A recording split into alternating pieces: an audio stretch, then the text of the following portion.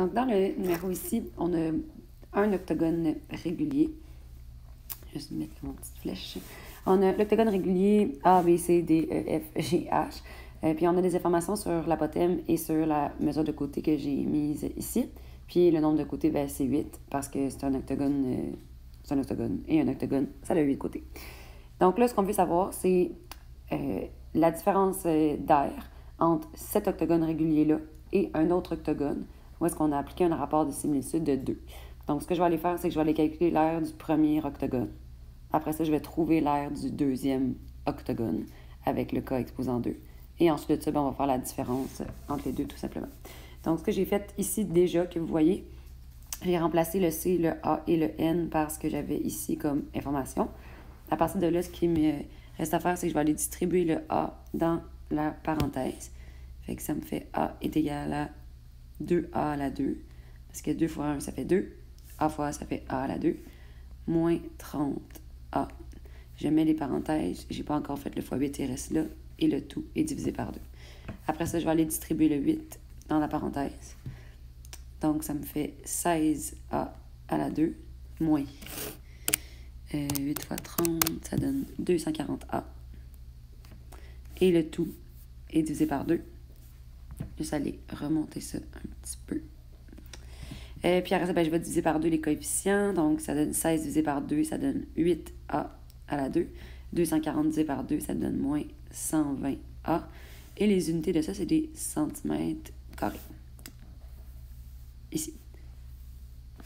Donc là, on nous dit qu'on applique un rapport de similitude de 2. Il y a deux façons de faire à partir de là. Ce que vous pourriez faire, c'est appliquer le rapport de similitude, qui est le K, sur l'apothème et sur la mesure de côté, pour après se trouver l'air du deuxième. Sinon, le raccourci que moi je vous propose, c'est d'aller trouver le K exposant 2, puis de l'appliquer sur l'air du premier octogone. Comme ça, vous sauvez un petit peu de temps. Donc, ma troisième étape, je vais la replacer après. Euh, je vais aller trouver le K exposant 2. Parce que ce qu'on nous donne, c'est le rapport de similitude. Donc, on nous donne le K. Fait que le K exposant 2, c'est 2 exposant 2. Le 2 vient de ici. Et ça donne 4. Fait que ça veut dire que l'air du deuxième, elle est 4 fois plus grande que l'air du premier. Fait que je vais faire un fois 4. Puis ensuite de ça, je vais faire la différence d'air entre les deux, tout simplement. Juste aller essayer de tasser ça un petit peu. Ça sera pas bien long. Je vais dégrouper. Bing. Bon, alors on va oublier le petit rond par rapport en haut.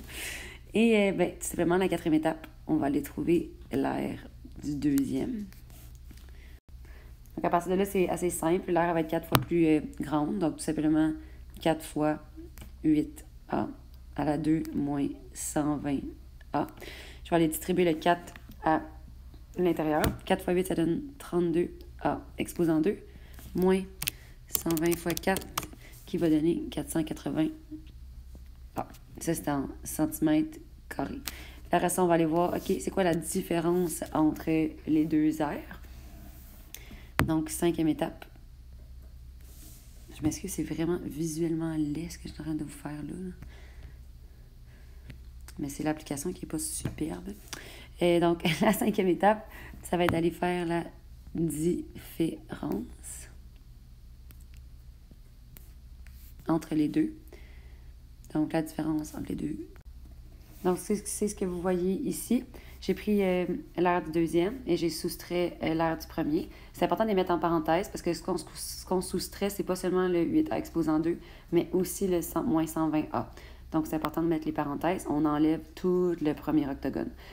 Donc, j'ai distribué le moins à l'intérieur de la parenthèse et j'ai fait la différence ici.